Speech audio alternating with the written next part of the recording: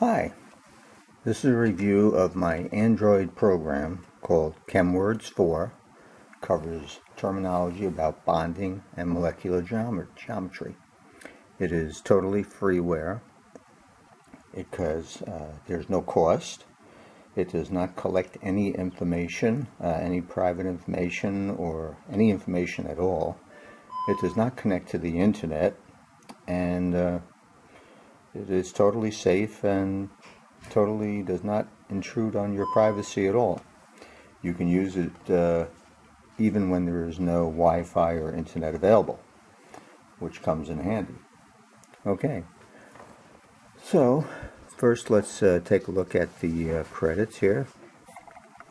This program is based on the free chemistry ebook called Chemistry 2E that's put out by OpenStax.org. It's a very good book. It covers quite a bit of uh, in-depth uh, material in chemistry. And uh, I suggest people go there and download it and take a look at it. It has PDF textbooks from other uh, topics also. That's a good place to go. This covers a total of 42 words. I think there's 14 words on each screen. Let's take a look at the uh, instructions. So the instructions, uh, each screen has a bunch of tiles on it.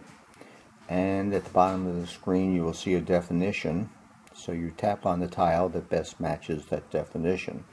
The definition will go away and a new uh, definition will pop up. The definition and the term go away and uh, you go through this. There's a report about accuracy, and this accuracy is the percentage of correct choices out of all the choices that you've made. And finally, uh, the sound can be turned on and off with the uh, buttons on the menu. Or, of course, you can use the sound controls on your device to mute your device either way. Okay, let's take a look at word set 1. And down here we have here definition says compound that contains hydrogen, oxygen, and one other element bonded in a way that imparts acidic properties. Uh, so I guess it would be an oxyacid. There we go. Got it right. Yay! Um, bond form when electrons are shared between atoms, of course, is a covalent bond. But let's say you didn't know that. You hit the help key, and it will flash the answer. Tap on the answer, and a new definition comes up, and you pick a new one and you go through this. If you finish this, then you'll get a report at the end on your accuracy. The uh, You can study, by the way, hit the study screen. Instructions come up, they just tell you you tap on one of these blue words in the background, blue tiles. Definition will come up, then you tap, tap on the definition, the tile, and the definition will go away, and you can tap on a new definition. So it works like this. Let's say electronegativity. Here's a definition of electronegativity. We tap on the definition. Both things have disappeared. You can go to a new one, binary compound, and so on. Go back to the screen where we're playing. You can try playing again.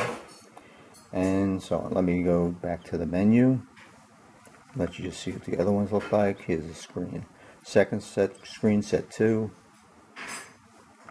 And here's set 3 and each one of these screens has a study screen that goes along with it. And so what we can do now, if we hit quit, if I had completed any of the levels, I would have a yes here, and it would also tell me the accuracy that I had for that particular level. And uh, that's essentially the game. So I hope you download it and try it out. Hope it helps you with your uh, chemistry and uh, helps you remember some of the terminology involved. Okay, thank you. Sorry for that noise in the background. If you can hear it, that's uh, the little wifey uh, getting supper ready. okay, have a nice day, and uh, thanks for downloading. Thanks for watching. Bye now.